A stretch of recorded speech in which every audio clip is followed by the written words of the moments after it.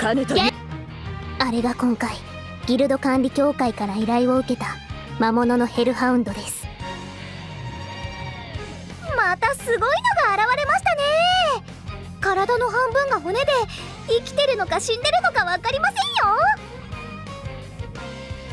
こいつが暴れるせいで温泉街の人たちが困ってるっていう話だったけどギルド管理協会もとんでもない依頼をしてくるものね。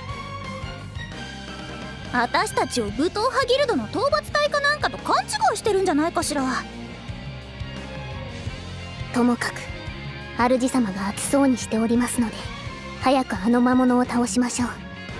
では参ります。うなるを届けインフェルノシールド。負けられない。琉球剣ナックルアラウルフェンファイト！ー敗北をプレゼントしますわいくよ。リズム上げるよ。財力の出番ですぶち込むさ元気をお届け覚悟しろよ。歌っちゃう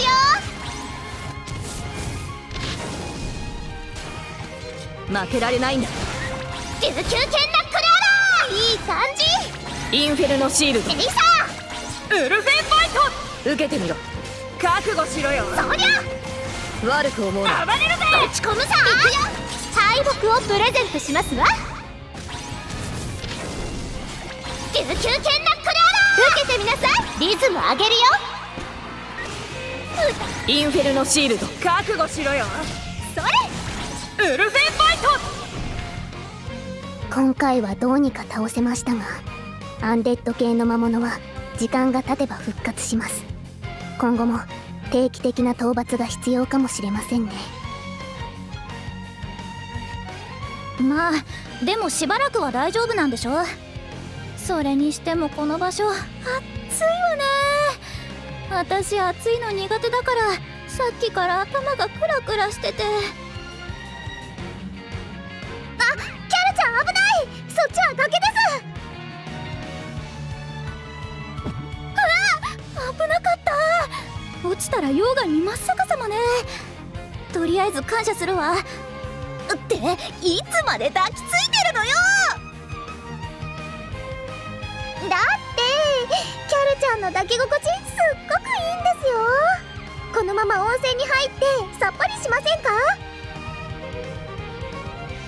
分かったから離れろ！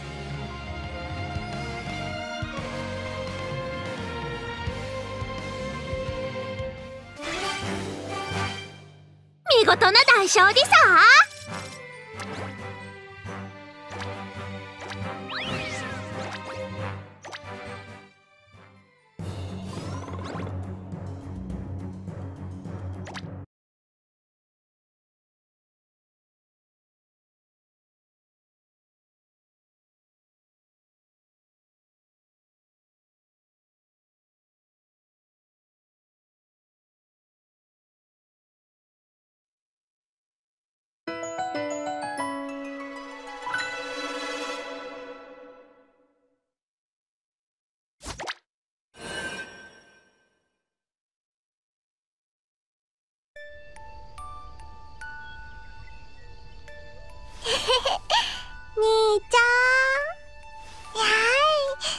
も一緒に遊ぶむにゃむにゃむにゃミミみそぎのんきに寝てないで起きて。お願い。緊急事態だから。だから寝ないで。起きてくれなきゃ困る。みそぎ起きてよ。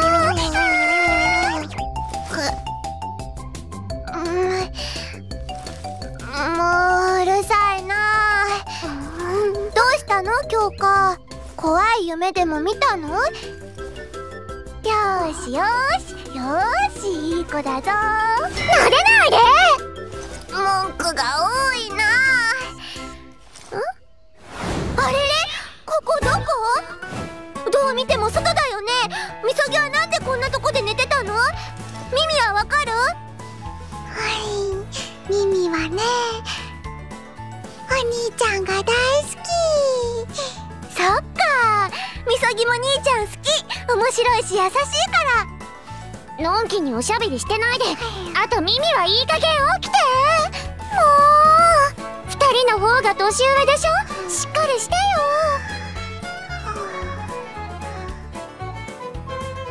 はーい。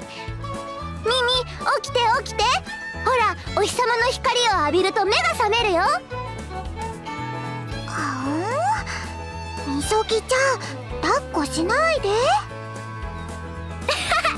ミミ意外と重い。さすが最年長。お女の子に重いとか言うのはマナー違反だと思う。本で読んだ。いいよ。でも抱っこするのはやめてね。あったかくてまた眠くなってきちゃう。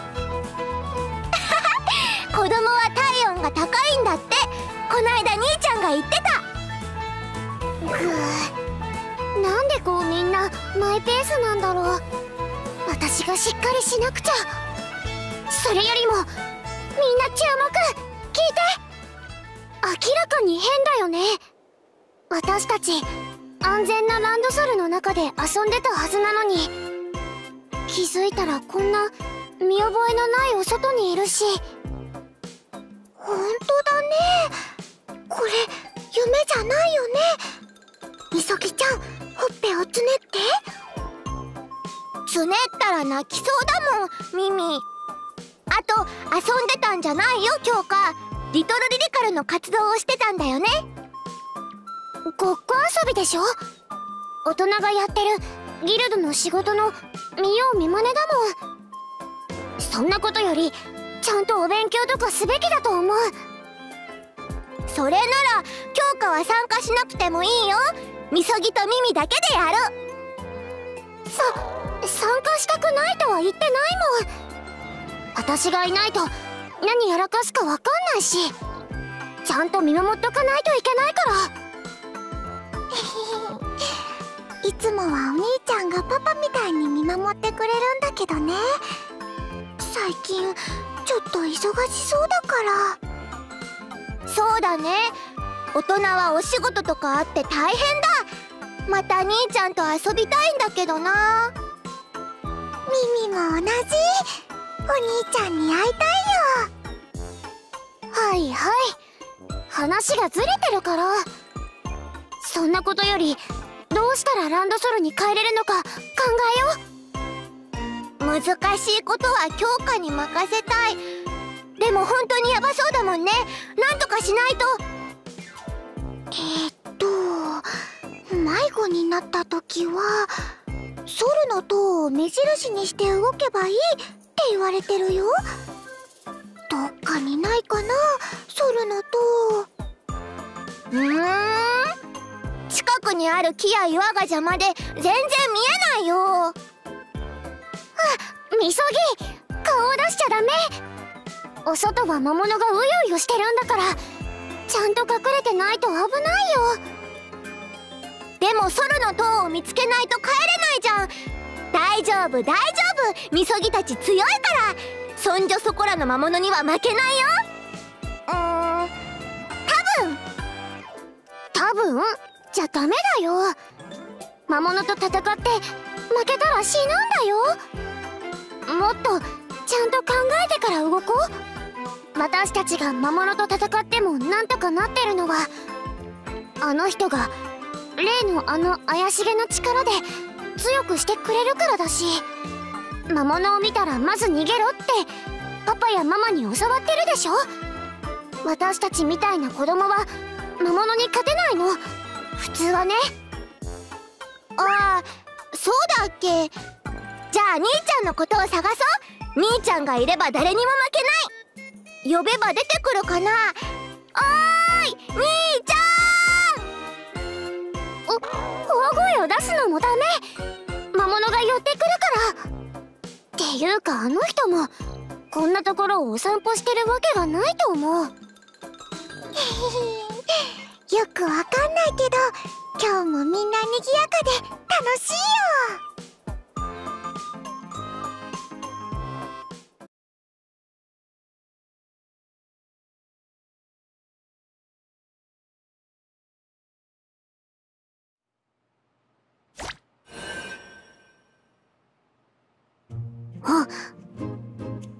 おはようございます。主様。いかがしました？急に飛び起きて。何か怖い夢でもご覧になったのでしょうか？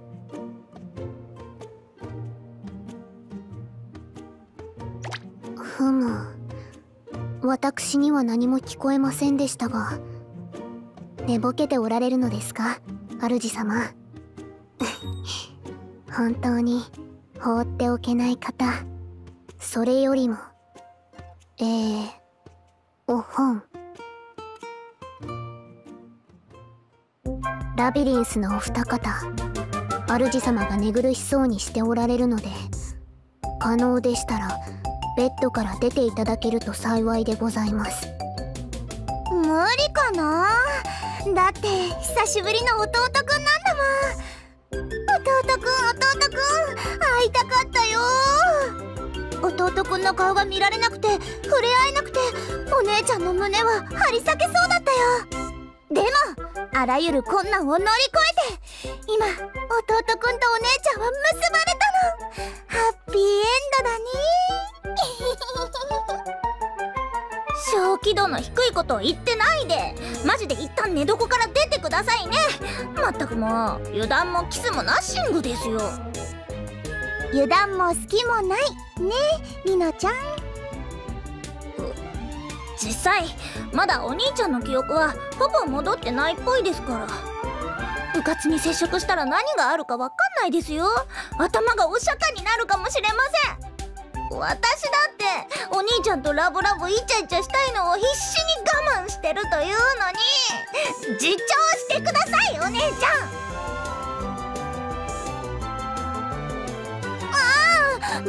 弟くんから引き離さないで。意地悪。お姉ちゃんと弟くんは一生一緒にいるの。誰にも断ち切れない血の絆があるの。私と同じで血はつながってないでしょお姉ちゃんも。マスターも休眠状態で何があっても対処できないんですから。本当にいい加減にしてくださいね。うん。だってだって寂しかったもん。弟くんが他の女の子とラブコメをしてる間私は地味な事務仕事とかに忙殺されててストレス山盛りだったの。それは私も同じですってば。一応私たちラビリンスは秘密結社ですもんね。地味な裏方仕事っていうか裏街道をこそこそ動くしかないのは仕方ないでしょ。まあ何にせよ皆さんが無事で何よりでした。このアジトはまあ安全だと思いますからゆっくりしてってくださいね。ほらお姉ちゃん。そろそろ他の皆さんも起きてくると思いますから一緒に朝ごはんの支度をしましょう。うーんいいけどね。これから嬉し恥ずかしの同居生活が始まるんだもんね。まだまだチャンスはある。お姉ちゃんはポジティブに考えるよ。覚悟してね弟くん。すぐに思い知らせてあげる。お姉ちゃんのありがたみを。人生に必要不可欠な要素とはお姉ちゃんであるということ。はいはい。バカを言ってないでいきましょう。それじゃあお騒がせしました。ふむ。よくわかりませんが本当に騒がしい方々ですよね。はい。ラビリンスの皆さんは第一印象が悪かったというか以前いきなり襲ってきた危ない集団だという認識でございましたがどうも主様とは仲良しなようですしお兄ちゃんとか呼ばれたりして見た感じ善良な方たちのようです。もちろん油断は禁物でございますがまだまだ正体不明ですしね。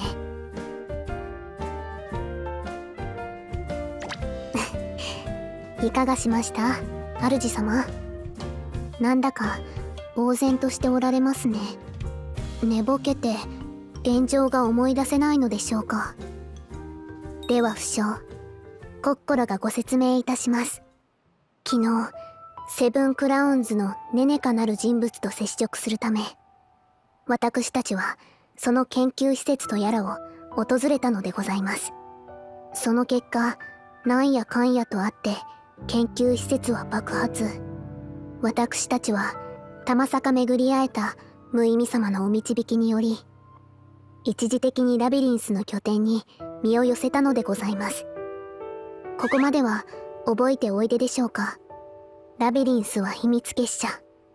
そのアジトも小規模なもののようで大人数で押しかけると手狭になりますから忍様たちとは一旦お別れしております。あの方たちをあまり我らの因縁に巻き込むのもどうかと思いますしね。どうも忍様たちは大破した研究施設の残骸などを調べたかったようですし今後も情報交換などをしつつ仲良くしていこうなどとおっしゃっていただけましたね。見た目は怪しげながらもなかなか快い方々でございました。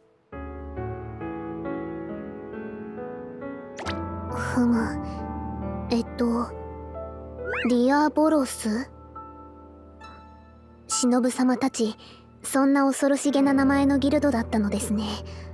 私過分にして存じ上げませんでした。悪魔と名乗っているのが不思議なぐらい。和やかで優しい人々でございましたね。おーい起きてるか？いろいろ話しときたいことがあるし食堂まで来てくれ。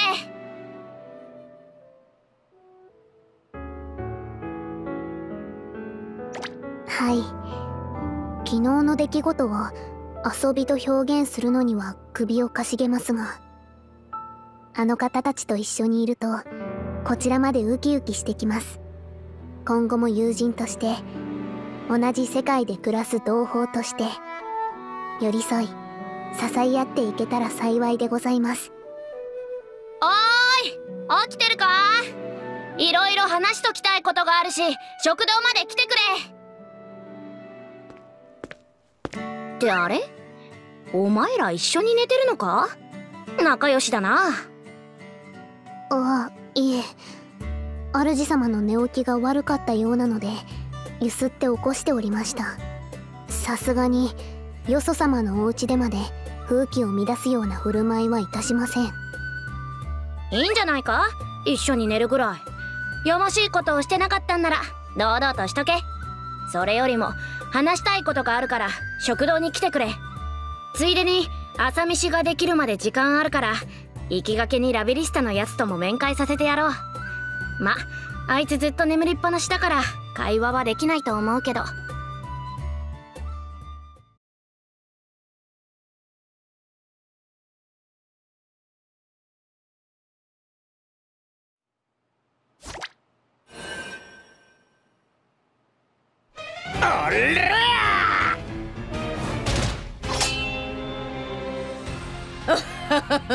荒いな。何もかもが。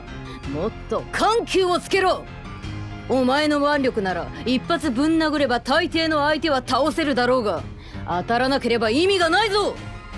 ほらほらもっと考えるがいい。脳みそまで筋肉なのか？もっと私を楽しませてみろ。デクノボめ。いやーいちいち腹立つ。今日という今日こそそのすかした顔面をへこませてやるぜ。ひどい。大悟くん女の子の顔を殴るの？え。いやでも戦闘訓練だしお前が手抜くなって言ったんだろ。さまさま女の子って年齢じゃねえよあ禁句を言ったな。殺すぞ。なおお剣を振り回すな。こっちは丸腰なんだぞ。当たったらマジで死ぬ。安心しろ坊やその不愉快なことをさえずる舌を切り取ってやるだけだ。な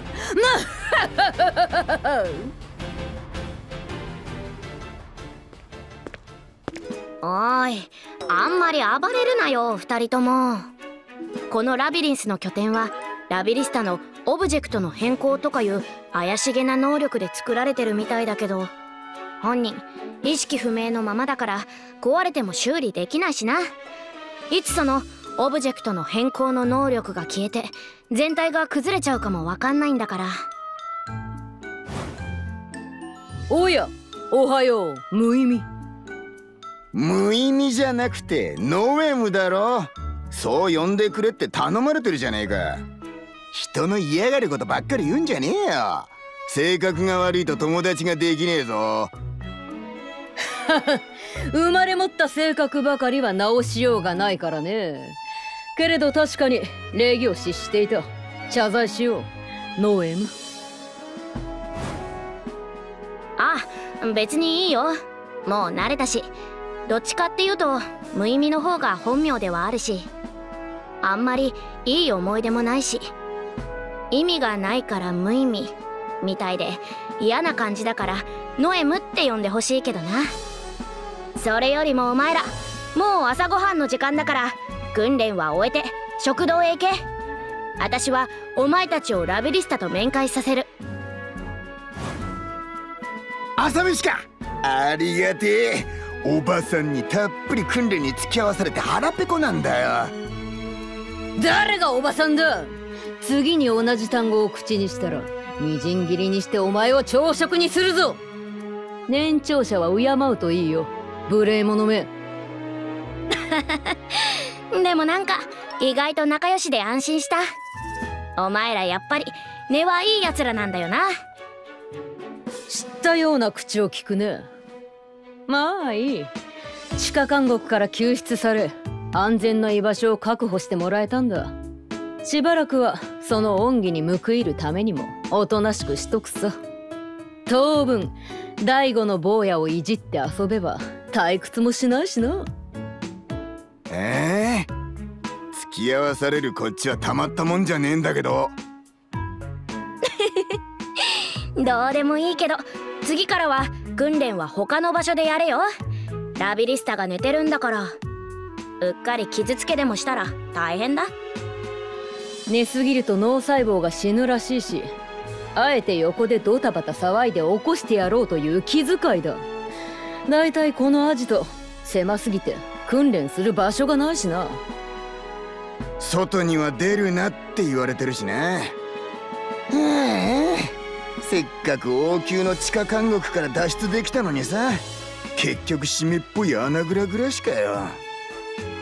まあ私たちは脱獄の罪も追加された上で指名手配ぐらいはされてるだろうしほとぼりが冷めるまではここでご厄介になっているしかないだろう。わがままを言わずにせいぜい逆境を楽しもう。坊や。へいへい。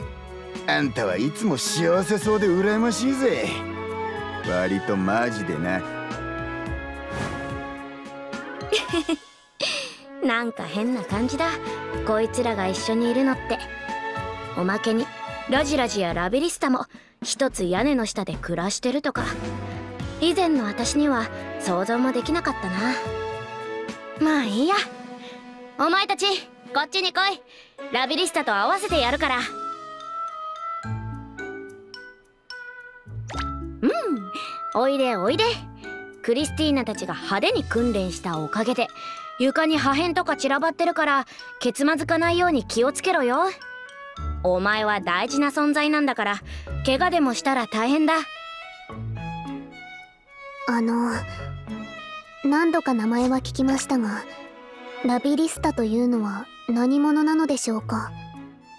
昨夜アジトを訪れた際にも顔をお見せになりませんでしたが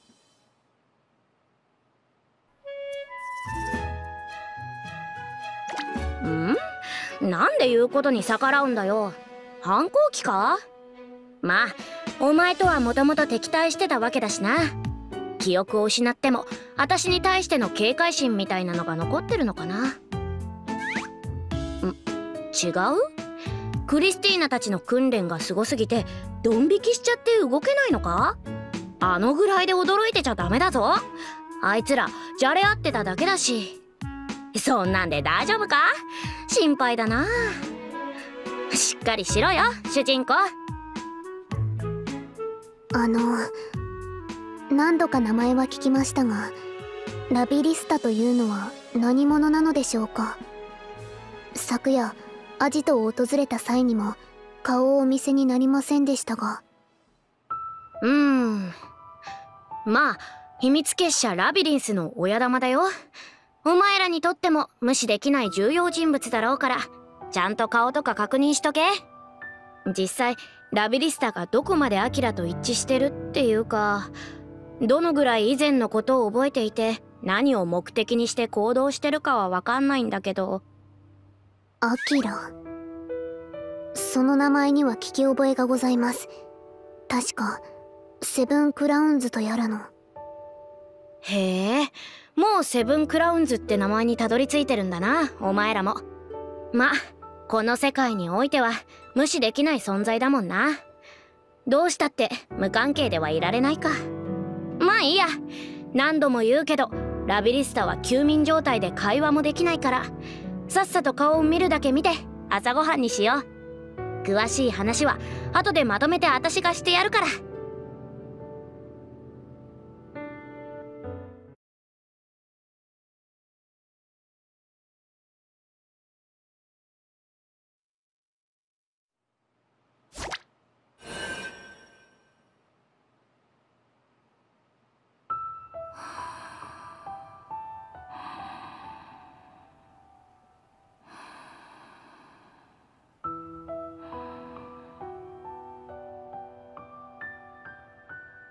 こちらが秘密結社ラビリンスの司会ラビリスタ様でございますか。確かに異様な存在感のある方ですね。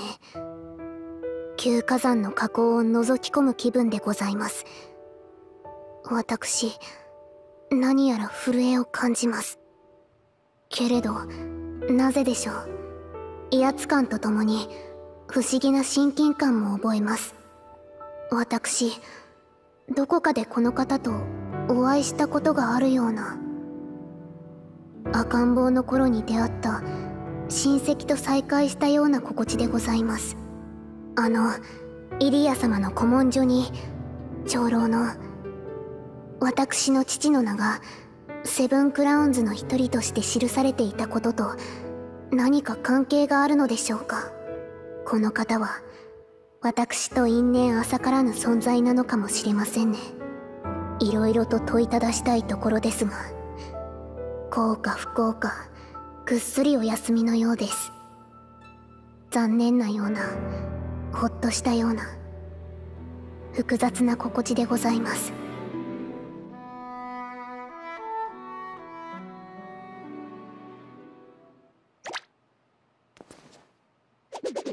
はあ主様なぜなでなでするのでしょう？ふむそうでしょうか。感情を表に出すなど私もまだまだ未熟者です。けれど主様のお気遣いが大変嬉しいです。私は過宝者ですね。おーいイチャイチャしてるところ申し訳ないけどラビリスタの顔を見るだけ見たら食堂へ移動するぞ。えイチャイチャはしていません。いつも通りです。ええしかし顔を見るだけでございますか？せめて会話ができればありがたいのですがラビリスタ様はずーっと眠っておられるのでしょうか？うんこの間の大規模破壊魔法を防ぐためにラビリスタは視力を振り絞ったみたいでさ。ガソリン切れでずっと昏睡状態なんだ。ガソリン？魔力が底をついた状態のようなものなのでしょうか。だとしたら安静にさせておくしか方法がありませんね。そうだな一応点滴を打ったり魔力とかを補給するために色々試してるんだけど今のところ成果はなしだ。自然回復するのを待つしかないっぽいな。どうも調べた感じ。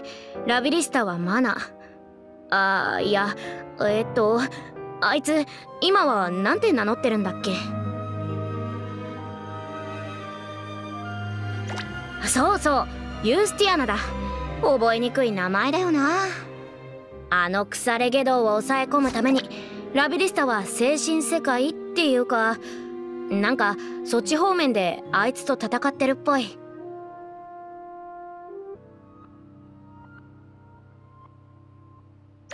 いやいや聞いたことないぞそんなの。適当なことを言うな。えっ、と確かユースティアナだったっけ。あの腐れ下道を抑え込むためにラビリスタは精神世界っていうかなんかそっち方面であいつと戦ってるっぽい。迂闊にラビリスタを起こすとそれが中断しちゃう。私たちをまとめて皆殺しにしようとしたユースティアナまで一緒に復活する可能性があるってことだ。だから今はまあできれば放置したい。ユースティアナ。ペコリーヌ様から立場を奪ったという極悪人でございますね。それが現状私たちの最大の敵と言えるでしょう。ラビリスタ様がそんな邪悪な存在を抑え込んでいるという今のうちに私たちはできる限り次の展開に備えなくてはなりませんね。そういうこと。私たちも今はそのために走り回ってる。お前らまで付き合わせたくないけどできれば協力してくれたら嬉しい。はい可能な限り。無意味様には命を救われた恩義がございますからね。何の話？ああ爆破された馬車から助け出した時のことを言ってるのか？こっちもやけどの手当てとかしてもらったし貸し借りなしって感じだけど。昨日も自爆する研究施設から私たちの手を引き安全な場所へ避難させてくれたりもしましたよ。無意味様はまだかなり正体不明ですけれど信頼できると考えます。私たちに害を成したいならどこかのタイミングで見殺しにすればよかったわけですし。成り行きだよ。でもま今は仲間だと思ってくれたら嬉しい。お前たちと共闘するって私としてはちょっと夢にまで見た展開だよ。いっつも楽しそうでさ羨ましかったもん。お前らは。もちろんオクトーと二人で悪者として振る舞うのも最高に楽しかったけど。ほんとあの頃は何もかも輝いてた。穏やかで平和で賑やかで幸せだった。もちろん怖いこととか悲しいこととかもあったけど今となっちゃ全部いい思い出だよ。んどういうことでしょう？うん。わかんないよな。その辺含めて後で説明する。もう朝ごはんもできた頃だろうし食堂へ行こっか。承知いたしました。主様いかがしました？じっとラビリスタ様を眺めてらっしゃいますね。寝姿などあまり見られたくないものでしょうし凝視してはいけませんよ。あやそういうのを気にしないと思うけどラビリスタざっくばらんな性格だし。お前のことは弟か息子みたいに可愛がってたみたいだしさ。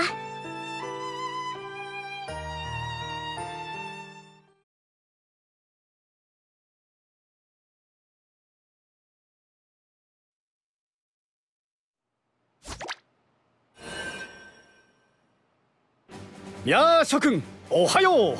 気持ちの良い朝だね。と言ってもこのアジトは洞穴の中だから朝日も拝めないのは残念ではあるが感覚でわかる。今日はきっと素晴らしい一日になると。こんな快い日ならばネネカ様を救出するという汝も成し遂げられる気がするよ。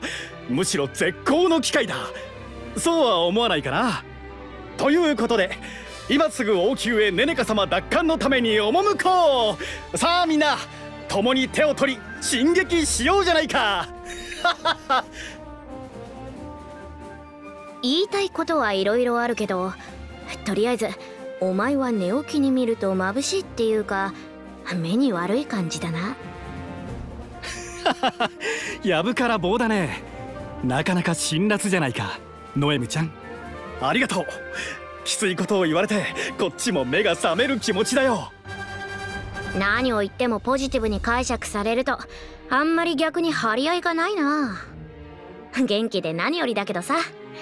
お前もまだ怪我が癒えきってないんだから無茶はするなよ。ネネカ救出の計画はちゃんと考案してる真っ最中だ。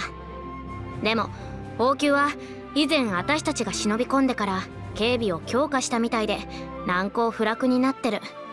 確実に救出作戦が成功する。と断言できるまで辛いだろうけど待ってくれ。わきまえているよ。けれど気持ちは抑えがたい。生まれて初めてよく眠れない日々が続いているぐらいだよ。ネネカ様が心配でね。ああネネカ様どうかご無事で必ずこのマサキが救出してみせます。うん。そのためにしっかり準備は整えておけ傷を癒して体力を回復させるためには美味しいご飯を食べるのが一番だ。ってことで朝ごはんにするから。今日の食事当番は誰だっけ？私ですが今日はお客様たちのために自分たちがご馳走を作るとしずるさんとリノさんが張り切って厨房に立っていますね。おおラジラジもおはようまさきと二人でおしゃべりしてたっぽいけど何を話してたんだ？はい。私の知識にはまだ多くの欠落がありますのでまさきさんにいろいろ教えてもらっておりました。彼なかなか博識なようで感心します。褒められると思はゆいな。これでも私はネネカ様の助手として研究を手伝っていたから学術的な知識は豊富だよそこそこ高学歴だからね。おうそういやお前は一応国家公務員だったっけか。今の世界観でその辺がどういう解釈されてるのかは分かんないけど同じ人間だしな。知能レベルなんかがガラッと低下することもないか。ラジラジとかはほぼ完全に記憶喪失になってるから赤ちゃんみたいに常識を落っことしてたりするけど。一応ご迷惑にならぬように一般的な常識などは早めに習得できるように努力しております。まあお前ももともとセブンクラウンズだしな。頭が悪いわけがないからちょっと努力すれば私よりもお勉強ができるようになるだろう。ふむラジラジ様とおっしゃるのですね。昨日は爆発する研究施設から脱出させていただき感謝いたします。あなたもセブンクラウンズなのでございますね。そういえば例の古文書にそれっぽい名前があったような。確かラジーニえっとラジニカーントと申しますよ。小さなお嬢さん。ラジラジとあだ名をつけていただいたのでそう呼んでいただけると幸いですが。承知いたしました。こちらも改めて名乗りましょう。私はコッコロ。この方は主様でございます。はい。よろしくお願いします。できれば末永く仲良くしてくださいね今さら気づいたけど。ティアナあじゃなくてペコリーヌってやつはどこだ？姿が見えないけどまだ寝てるなら起こしてこないと。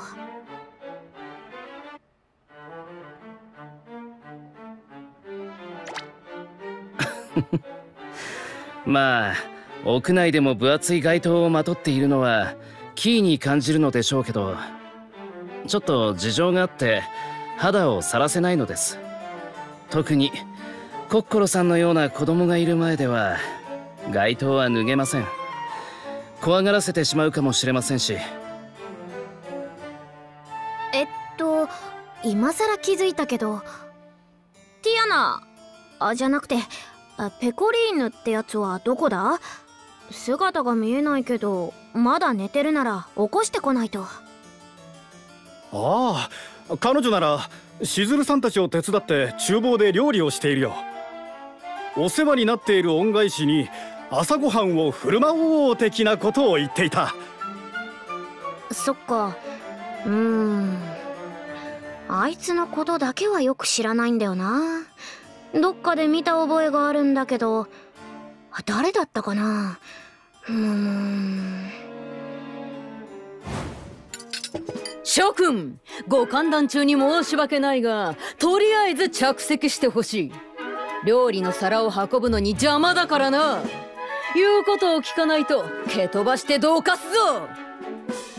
おいおい乱暴だなしかしこの人数だと全員ちゃんと座れねえんじゃねえか？詰めればギリギリ入るだろう。ほら坊やお皿はまだまだあるから適当に配置しつつどんどん運んでいこうはいはい了解っと。お前らどこ行ったのかと思ったら料理を運んでたのか。ちゃんとお手伝いできて偉いぞ。うんうん。まあ居候だしね。家事ぐらい手伝うさ。単に迷惑をかけるだけのお荷物になってしまうのは私の美学に反する。それにこういう日常的な行為はなかなか新鮮でね。それなりに楽しめているよ。窮屈で陰鬱な牢獄での日々に比べればまるで天国の暮らしだ。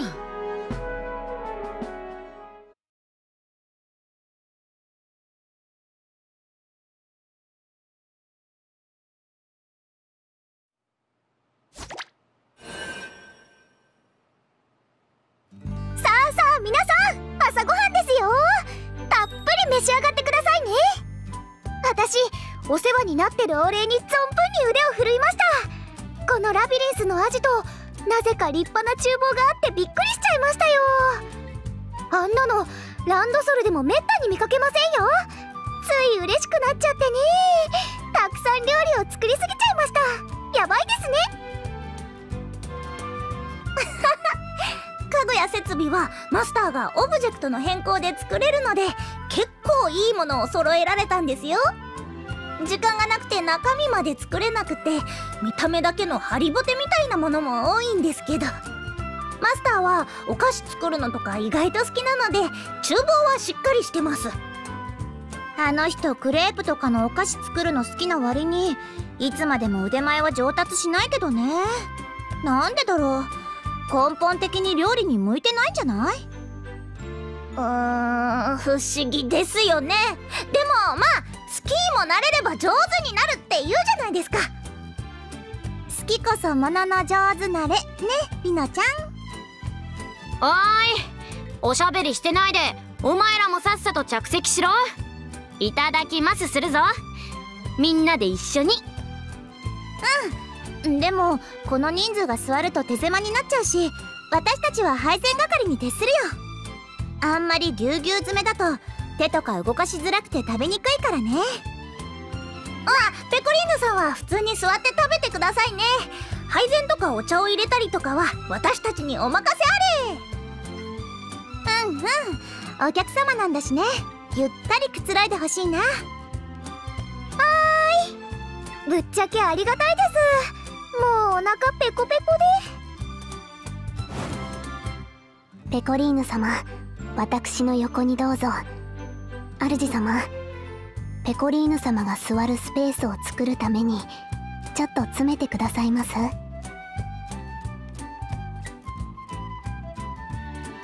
ありがとうございます。もう少し私に密着しても構いませんよ。あーなんか相変わらずラブラブですね。いいな家族って感じで。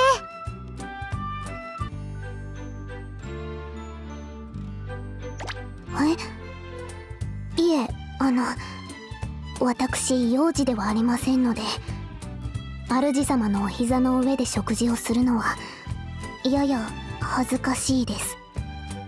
あーなんか相変わらずラブラブですね。いいな家族って感じで。おちょっと聞き捨てならないかな。弟くんの家族枠はもう私とりのちゃんで埋まってるからいや家族が増えるのは大歓迎だけどね。どうしようりのちゃん。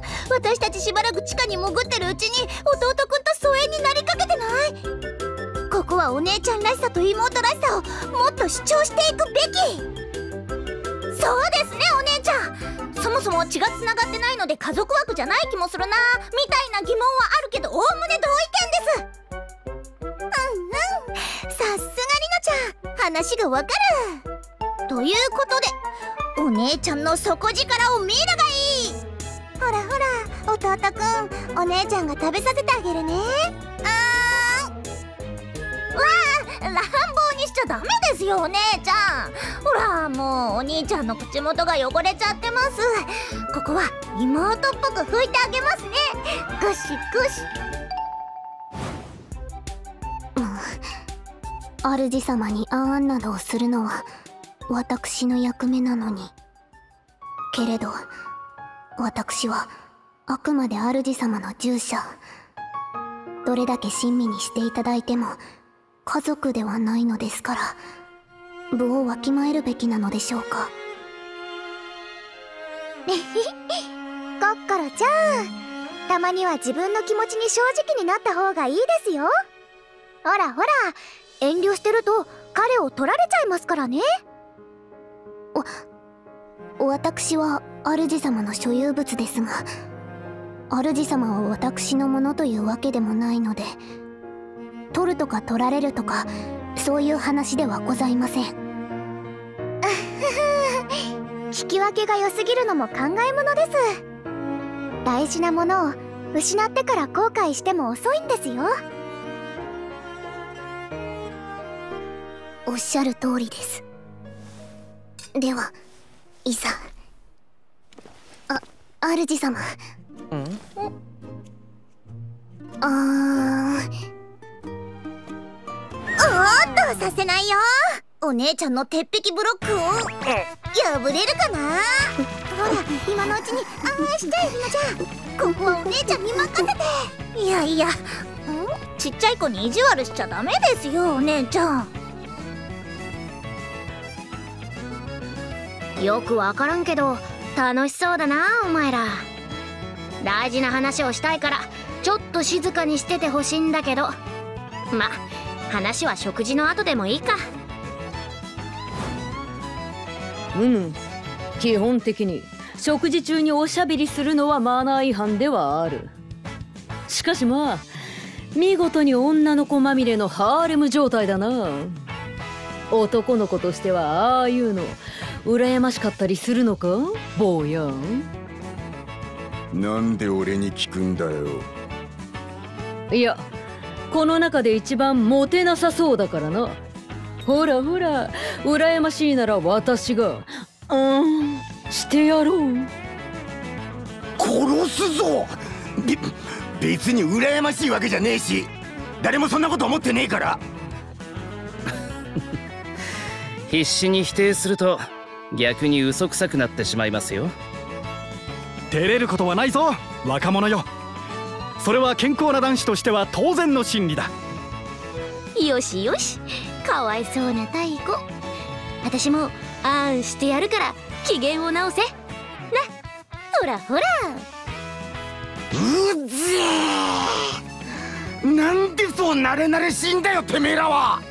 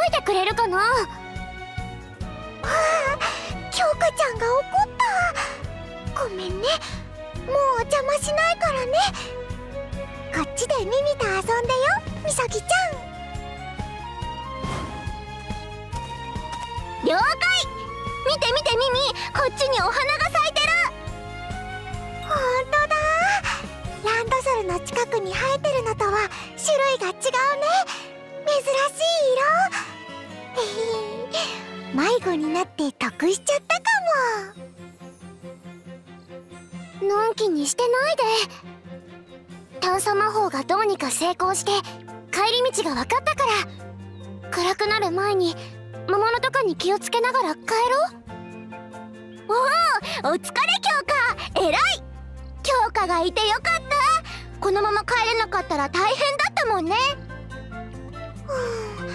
パパとママにもう会えないかと思ったよ。すごいね京香ちゃん。偉いね。よしよし。ふんふん。まあこの程度朝飯前だよ。えへへでもまあちゃんと帰れそうだって分かって安心したら気が抜けたよ。魔法使って疲れちゃったしちょっと休んでいい？うん。京香は頑張ったしみそぎが肩を揉んであげよう。ご褒美にそこで拾ったセミの抜け殻もあげるね。抜け殻はいらない。はあもうぐったりしちゃった。やっぱりあの人がいないと簡単な魔法を使うのも一苦労だね。あんな人でもいないと困るっていうか。いつでもピンチな時でも落ち着いてるから。いてくれると安心するっていうか。京香ちゃんもお兄ちゃんのことが大好きなんだね。す好きとかじゃないから。違うから。みそぎは兄ちゃん好き。会いたいな。今頃どこで何してるんだろうね。そう。この時間だと起きて朝ごはんを食べてるとかじゃないかな。はう耳もお腹空いちゃってる。ママの朝ごはん食べたいよ。あみそぎお菓子持ってるよ。これ食べて耳。ありがとう。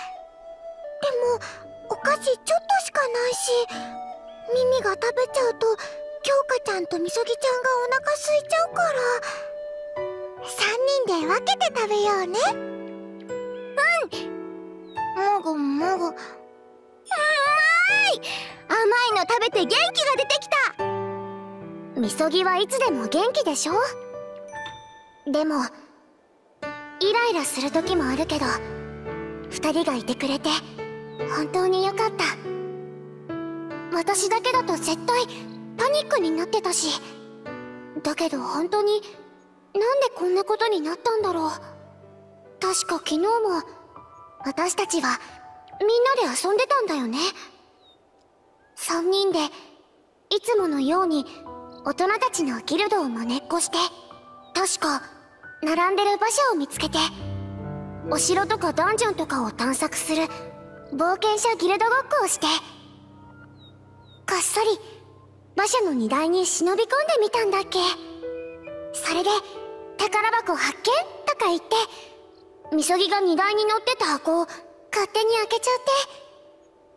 そしたらもやもやって煙が出てきたんだよね。それを思わず吸い込んじゃって。そしたら急激に眠気が襲ってきたんだ。それでそのまま寝ちゃったのかな。多分あの箱の中に眠くなっちゃう魔法の込められた何かが入ってたんだよ。そういうの社会人に需要あるって聞いたことあるし。そのまま3人とも寝ちゃって馬車の人が気づかず出発してランドソルからちょっと離れたこんな場所まで連れてこられちゃったのかな？それで馬車の人が無賃乗車してる私たちに気づいて怒って放り出しちゃったのかな？それとも馬車が揺れて私たちが荷台から落ちちゃった？何にせよ自業自得な気がする。はあ。まあ無事にランドソルまでは帰れそうだからいいけど次からはもうちょっと気をつけて行動しないと。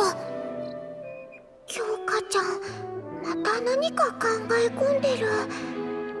こういう時に話しかけたら怒るからさっとしたか？はい？あれ？何かな？これ。どうしたの？ミミ。何を見てるの？あのねなんかぴょこぴょこしたものが。ミミダメ。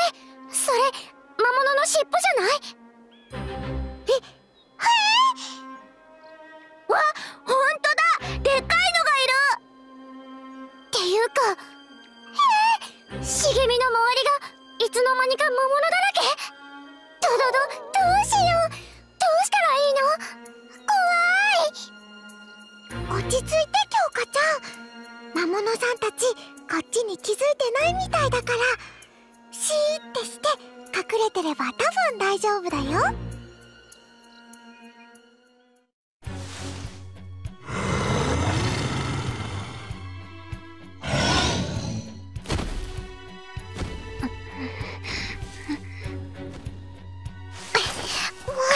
ゃダメだ。逃げよう。奴らどっかを目指して歩いてるっぽいよ。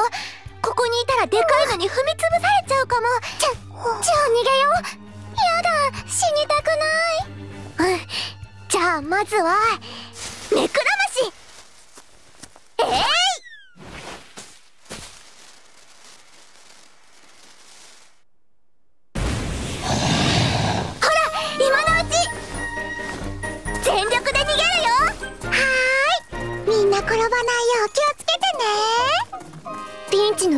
異様に頼もしいよね二人とも。は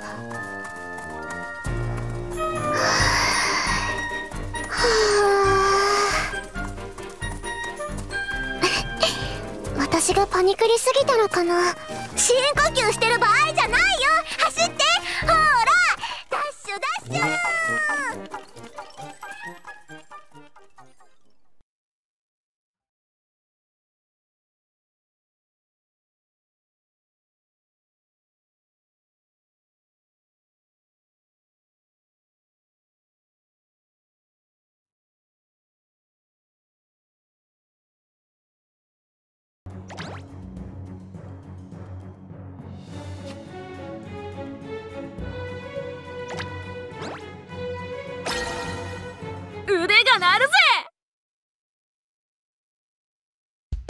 正義のために。シュルシュルさん暴れるぜ。財力の出番ですよね。受けてみろ。元気をお届け。琉球剣ナックルアローさあキラキラを上げる。れないんだ。食らいやがれ。それ打ち込むさ。覚悟しろよ。金と言うなら。スキップで進むさ。リズム上げるよ。覚悟しろよ。ぶち込むさ。琉球剣ナックルアロウルフェンをプレゼントしますわ。インフェルノシールド。我元気をお届け。金と言うなら。食らいやがれ受けてみなさい。剣ナックルキラキラを上げる。やそらせ。食らうがいい。えいさえい。暴れるぜ。負けられないいい感じ。受けてみろ。打ち込むさ。行くよ。覚悟しろよ。キラキラを上げる大詰めですわね。金と言うな負けられないインフェルノシールド。琉球剣ナックルアロウルフェンファイー歌っちゃうよ。打ち込むさト金と言うなら覚悟。敗北をプレゼントしますわ。リズム上げるよ。負け。こりゃ。琉球剣ナックルアロー打ち込むささあそれ。金と言うなら覚悟しろよ悪く思うな。インフェルノシールド。ぶち込むさ。受けてみなクラぶち込むウルフェンバイト。覚悟しろよ。キラキラ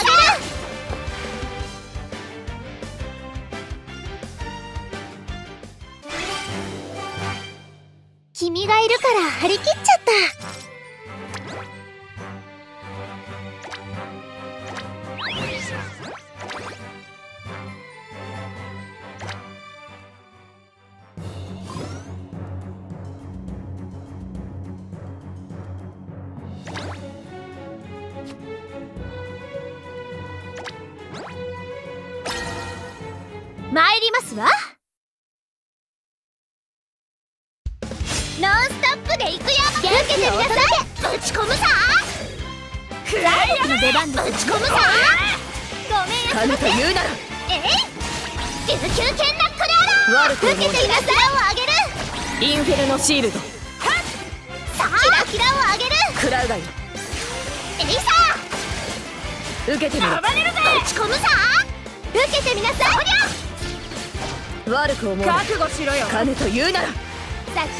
ますわよ。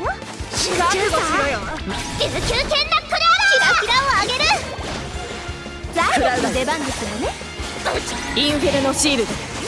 金と言うなら。ウルフェンバイト！歌っちゃうよ受けてみなさい。キラキラ。を敗北をプレゼントしますわ。ぶち込むさ！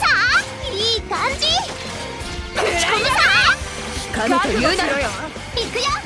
さあ。元気をお届け。そろそろ本番さ金と言うなインフェルノシールド。負けられる。琉球剣ナックルアロウルフェンバイト。ー財力の出番。受けてみろ。ぶち込むさ。元気をお届け。リズム上げるよ。え琉球剣ナックルアロー。歌っちゃうよ。悪く思うな。インフェルノシールド。ぶち込むさ。やだ。キラキラをあげる。食らうがいい。覚悟しろよ。えいさウルフェンバイト琉球剣ナックルアロ受けて。みろ元気を負けられないんだ。そりゃ悪く思うなそれ敗北をプレゼントしますわ。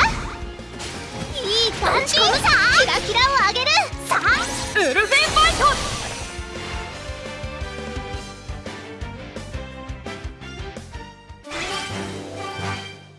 この鎧は伊達ではないぞ。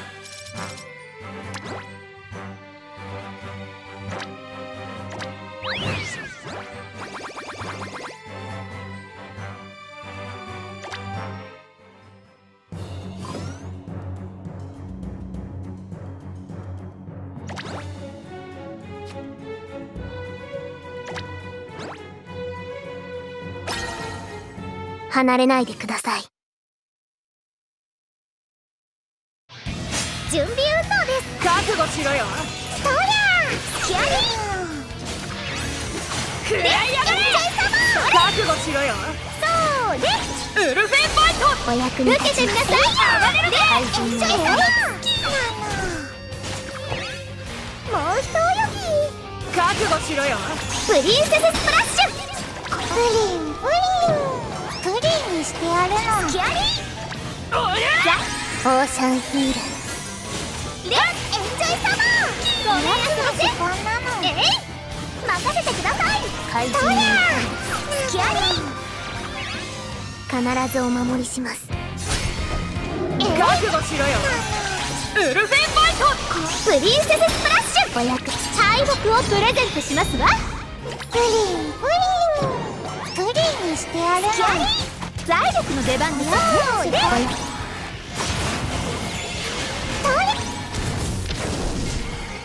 水着オーシャンヒールお役に立受けてみなさい怪人の食らいやウルフェンバイトキャリープリンセススプラッシュ。プリンプリンプリンにしてやるのお役に立ちの出番敗北をプレゼントしますわ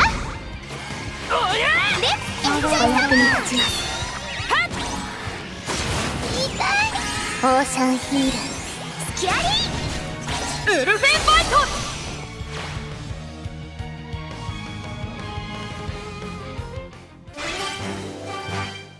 早く海の幸を食べに行きましょう